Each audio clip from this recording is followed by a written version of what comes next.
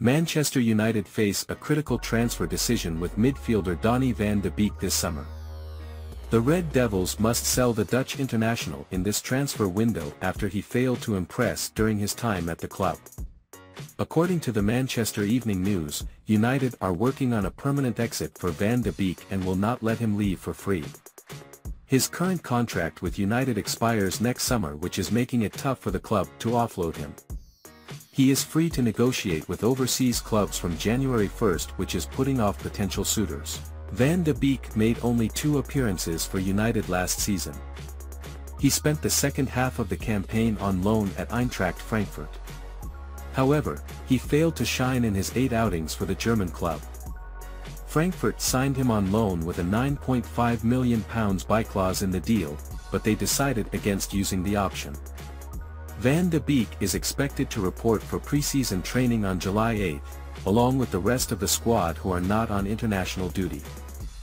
Manchester United face a critical transfer decision with midfielder Donny van de Beek this summer. The Red Devils must sell the Dutch international in this transfer window after he failed to impress during his time at the club. According to the Manchester Evening News, United are working on a permanent exit for Van de Beek and will not let him leave for free. His current contract with United expires next summer which is making it tough for the club to offload him. He is free to negotiate with overseas clubs from January 1st which is putting off potential suitors. Van de Beek made only two appearances for United last season. He spent the second half of the campaign on loan at Eintracht Frankfurt.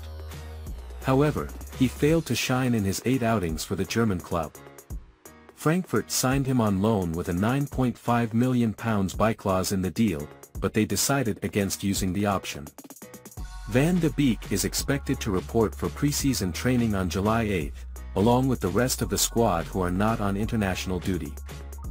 Manchester United face a critical transfer decision with midfielder Donny van de Beek this summer. The Red Devils must sell the Dutch international in this transfer window after he failed to impress during his time at the club. According to the Manchester Evening News, United are working on a permanent exit for Van de Beek.